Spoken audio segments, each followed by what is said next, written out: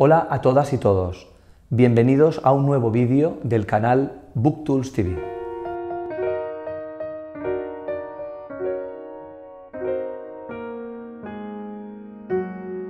Penso che un sogno così non ritorni mai più.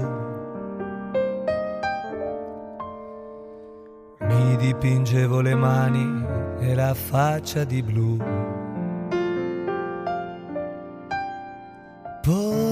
Poi d'improvviso venivo dal vento rapito. E. ¿Qué tal? ¿Cómo estáis? Fumio Sasaki, Goodbye Things, Cómo encontrar la felicidad con el arte de lo esencial, un libro editado en Roca Editorial. Más de 150.000 ejemplares vendidos en Japón. Un libro importante en Japón de un japonés, Fumio Sasaki, con un título absolutamente inspirador, Goodbye Things. Goodbye Things es bye bye, es chao chao, es arrivederci, cosas, objetos, Cosas, cosas, todo esto son cosas. Estamos en un mundo lleno de cosas. Esta taza, este libro, este papel, esta, esta chaqueta, esta camisa, estas gafas. Todo son cosas, pero las cosas juegan a favor nuestro o nos complican la vida. Las cosas nos son útiles o nosotros les somos útiles a las cosas. Las cosas que tenemos nos dan felicidad o nos quitan felicidad? Bueno, un poco por ahí va el libro. Es un auténtico fenómeno, uh, bestseller en Japón, como os decía, y este autor habla de la felicidad. Fijaros que hace un paralelismo, hace una, una, una analogía entre menos cosas, adiós a las cosas, tirar cosas, ¿eh? liberar nuestra vida de objetos, con la verdadera felicidad. Él habla de felicidad verdadera. ¿eh? Y habla de algo que es una moda y que es una tendencia, pero que seguramente hay muchas modas y tendencias que llegan, se ponen de moda y se van. Pero esta moda seguramente ha venido para quedarse y es el estilo de vida minimalista, es la teoría, la filosofía, la práctica del minimalismo. Muchas veces, o casi siempre mejor dicho, cuando hablamos de alguien o alguien habla de nosotros y hablamos del éxito, intentamos medir qué es el éxito o por qué una persona es exitosa. Lo medimos siempre en función de lo que posee, de sus objetos. Una casa, dos casas, tres casas, un coche, dos coches, tres coches, libros, relojes, objetos, moda, capacidad de consumo. Siempre hablamos de cosas. Pero eh, Fumio Sasaki, el autor del libro, nos dice que la verdadera felicidad está en otro lado. Y este autor no hace una aproximación al goodbye things, al chao chao cosas, no hace una aproximación solo teórica, hace una aproximación absolutamente práctica. El autor nos dice, fijaros en mi casa, fijaros en mi entorno, y nos pone fotografías. En este libro hay fotografías y vemos, vemos su habitación, vemos su espacio, vemos qué pasaba antes y qué pasa ahora. ¿eh? Por ejemplo, por ejemplo, nos hace unas fotos de su armario, cómo era antes y cómo es ahora, de su cama, cómo era antes y cómo es ahora. Y nos dice, cuando conquistamos el espacio de nuestra casa, de nuestro estudio, de nuestro ambiente, nos conquistamos a nosotros mismos.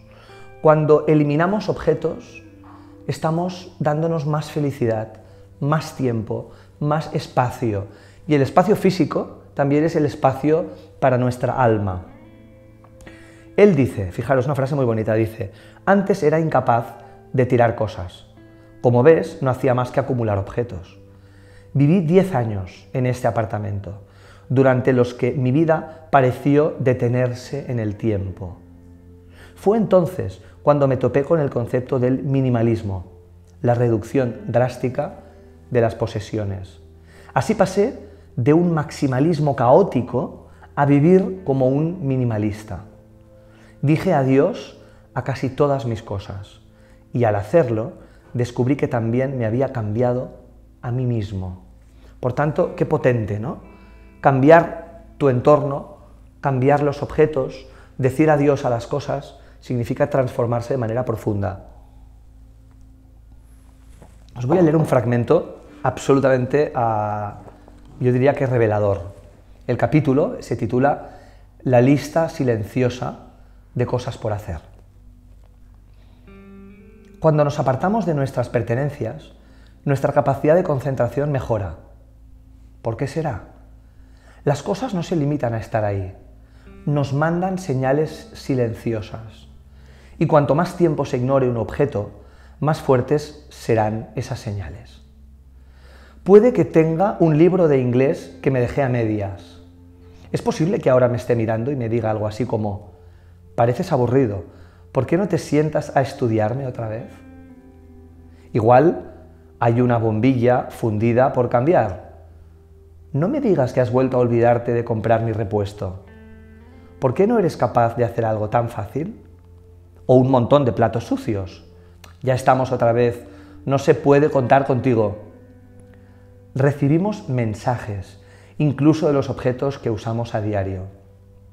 Imagínate que tu televisor te dijera, vaya, tienes mogollón de cosas grabadas que no has visto. Ah, también va siendo hora de que me quites el polvo. ¿Y tu portátil? Sería genial tener una amiga impresora. Y luego está el gel de ducha del baño.